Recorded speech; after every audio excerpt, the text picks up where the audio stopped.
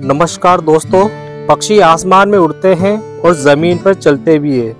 लेकिन कुछ पक्षी है जो उड़ नहीं सकते, लेकिन ज़मीन पर चलते हैं। इस वीडियो में ऐसे पक्षी की बात करेंगे जो ज़मीन पर चलता नहीं, बल्कि दौड़ता है। इससे पहले कि उस जीव के बारे में जाने, हमारे यूट्यूब चैनल को सब्सक्राइब ज़रूर कर लीजिए।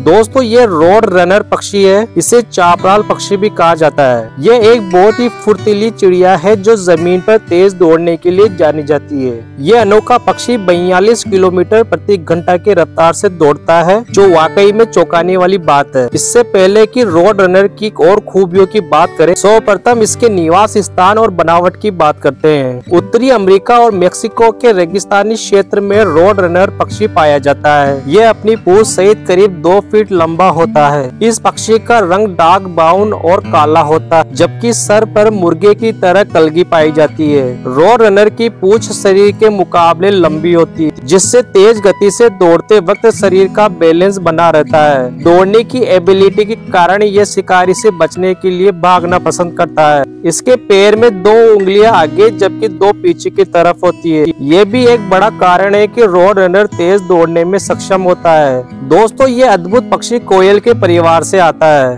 दोस्तों रोड रनर का मुख्य भोजन रेगिस्तान में मौजूद सांप, छिपकली जैसे रेप्टाइल जीव है। यह पक्षी उड़ने में भी सक्षम है, लेकिन ज़्यादा उड़ना पसंद नहीं करता है। रोड रनर जीवन भर एक ही साथी के साथ रहते हैं। नर और मादा रोड रनर में अंतर साइज़ का होता है। नर मादा से बड़ा होता है। दोस्तों, ये तेज दौड़ने वाला प्राणी संकटग्रस्त श्रेणी में नहीं आता।